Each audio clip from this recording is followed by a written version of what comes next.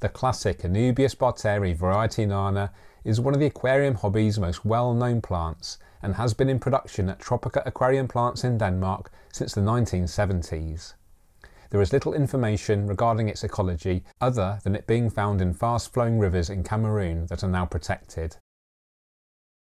Anubias nana is a very easy, adaptable and slow-growing rhizome plant that grows as an epiphyte, best attached to rocks or wood.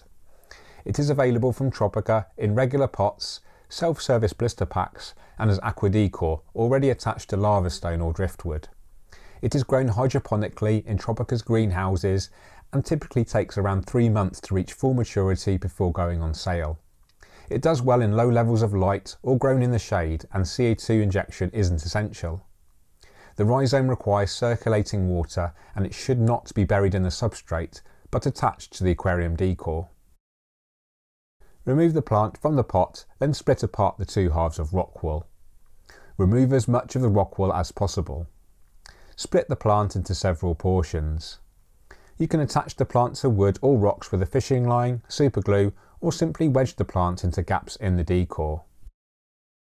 Anubias nana is a versatile plant that can add a sense of maturity right away to an aquascape. Its round leaves look great contrasting against other plants and hardscape.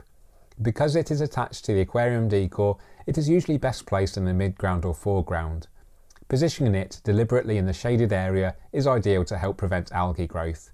Its tough, waxy leaves make it a viable candidate for aquariums with boisterous or herbivorous fish, such as African cichlids. Anubias nana is a low maintenance plant due to its slow growth, even with CO2 injection. Excess growth can be kept in check by removing the leaves directly from the rhizome. This can be done with sharp scissors or by simply pulling off the leaves sharply with your fingers. It can be propagated by splitting the rhizome with attached leaves and reattaching elsewhere in the aquarium. Due to its slow growth, the oldest leaves tend to become covered in algae over time.